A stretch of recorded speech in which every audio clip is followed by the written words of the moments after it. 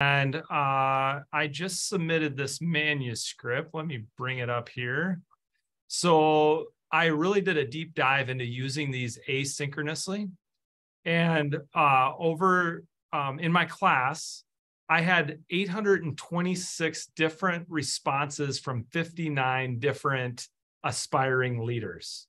Okay, so they were on my discussion board. If they did the disruptive teacher, I asked them the same questions and then they came and they answered those.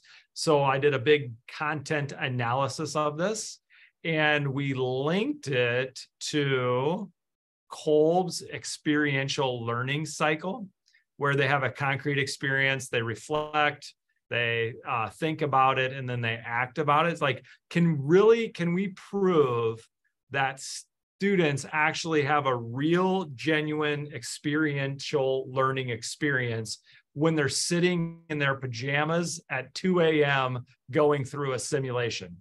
and we found over 200 or 400 or 200 or 300 or 200 different examples of when they actually went through that cycle.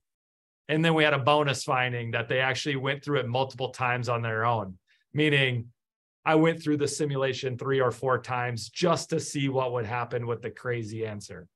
And then what Dr. Dexter and I did is at the end, we revised the questions that these are the questions that we would ask them to bring them through Kolb's experiential learning cycle.